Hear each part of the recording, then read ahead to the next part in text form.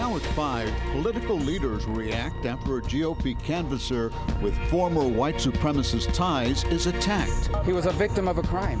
By the way, I think he's rejected all those things. The Democratic Party criticizing Senator Marco Rubio and the Republican Party for not distancing themselves from him. He has a well documented history of hatred and bigotry that's been well documented for years. The Republican Party knew who they were hiring when they decided to make Christopher Monzon a part of their staff. Tonight, both parties give their stance.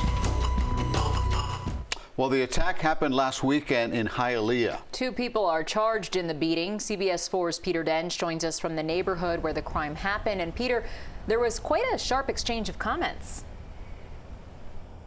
That's right, Lauren and Elliott. First off, members of the Florida Democratic Party said that they condemned the attack on Christopher Monzon as he was passing out flyers. They say no one should have to endure something like that. But they also said that both the Republican Party and Senator Marco Rubio should be distancing themselves from Monzon.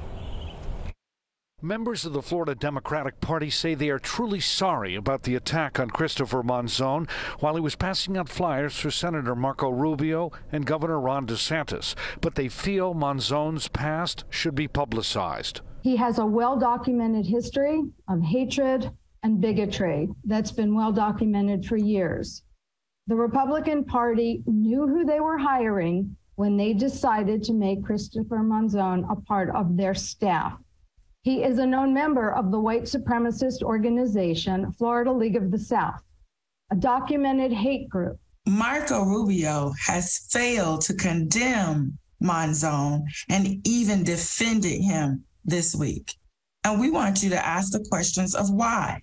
In 2017, Monzon was arrested in Hollywood after getting heated in a protest about changing the names of streets named for Confederate generals. Why are you playing footsie with known white supremacists and racists, your family history recognizes that when some of us are not safe, none of us are safe. Well, I think it's shameful that you're focused on the victim and not on the aggressor. Senator Marco Rubio says the criticism is not fair. He was a victim of a crime.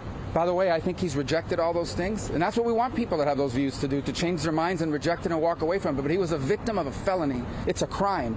So I don't know what this young man did in his past. He's rejected it, but I'll tell you this, it's a crime, and we should be focused on these two thugs who attacked him in a felonious attack. It's okay to shame and attack a victim when the victim is a conservative. It's disgusting. It's grotesque.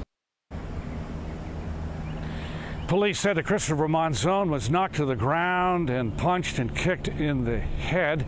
His father told me that he has been released from the hospital just today and is at home resting.